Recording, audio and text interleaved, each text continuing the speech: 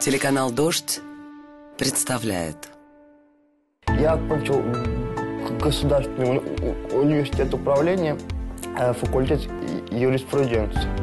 А Параллельно я пошел на факультет иностранного языка и, соответственно, закончил ИНЯС там же, в ГУ. Не получившись раз, два, три, когда-нибудь обязательно получится. Потому что, ну, потому что это так. Я работаю в компании Clifford Chance уже почти второй год. И я вот действительно очень рад, что добился того, чего хотел. Все равные, все равные. Это точно. «Все разные, все равные». Возможности есть.